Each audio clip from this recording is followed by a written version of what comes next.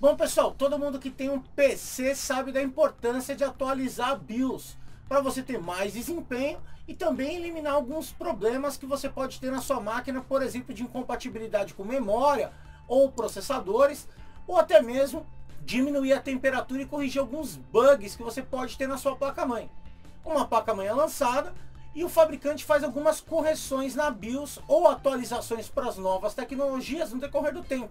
E não vai ser diferente com essa placa-mãe que eu estou usando aqui da MSI, a MSI B450 Tomahawk.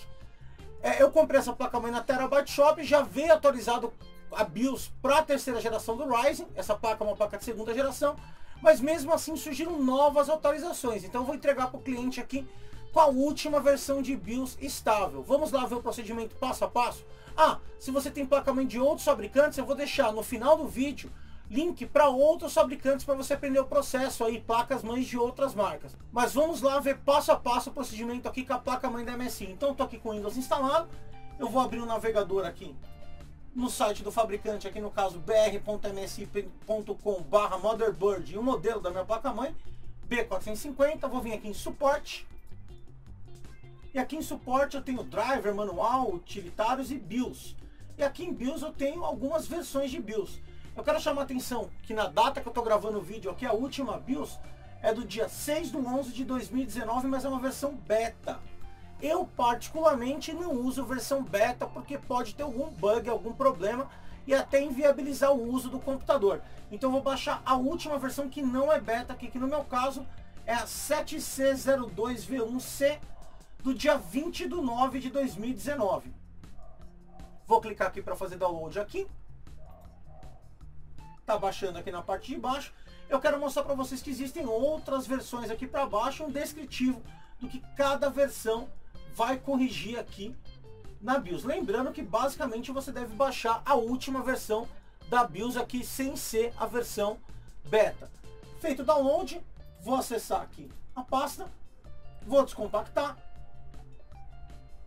extrair tudo Vou abrir a pasta aqui e vou copiar esse arquivo aqui, ó. E7C02 ams.1co. Vou copiar esse arquivo para dentro de um pendrive formatado em FAT32. Então, basta colar aqui no pendrive. Lembrando que eu recomendo que você use um pendrive de confiança. Vou usar aquele pendrive vagabundo do trem lá, né? Procedimento delicado. Feito isso, eu vou reiniciar a máquina e entrar no setup. Vem comigo. Então vamos lá, vou reiniciar a máquina aqui, ó. E vou ficar pressionando delete para entrar no setup. Quando ela iniciar novamente. Então estou aí na BIOS da MSI B450 Tomahawk. Como vocês podem ver aí, ele vai mostrar a versão da BIOS que eu estou usando agora, que é E7 C02 AMS.1AO. Ele mostra para mim a data da BIOS aqui embaixo, ó, 22 de 7 de 2019. Vamos lá fazer a atualização. Então eu vou entrar aqui no menu M-Flash. Ele tem aqui, ó, selecione um arquivo para atualizar a BIOS, vou dar um Enter. Ele fala que vai reiniciar a máquina no modo Flash Mode. Eu vou dar um Yes, um Enter. Vamos aguardar.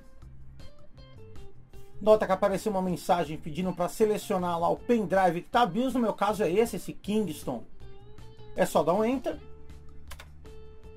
Ele mostrou para mim o arquivo que eu copiei para dentro do pendrive que eu mostrei antes para vocês. Vou dar um Enter novamente.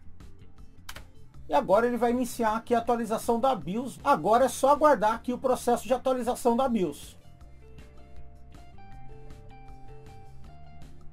Aí o processo terminou, a máquina reiniciou. Eu vou entrar aqui no setup novamente.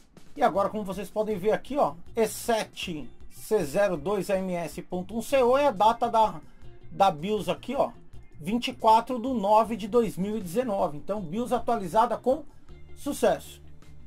Deixa eu sair aqui e ir para o Windows. Bom, é isso aí, mais uma BIOS atualizada aí, espero que vocês tenham gostado do vídeo, quem gostou não esquece de largar aquele joinha, se inscrever no canal quem não é inscrito, ativar as notificações e até a próxima, professorramos.com, compartilhando conhecimento.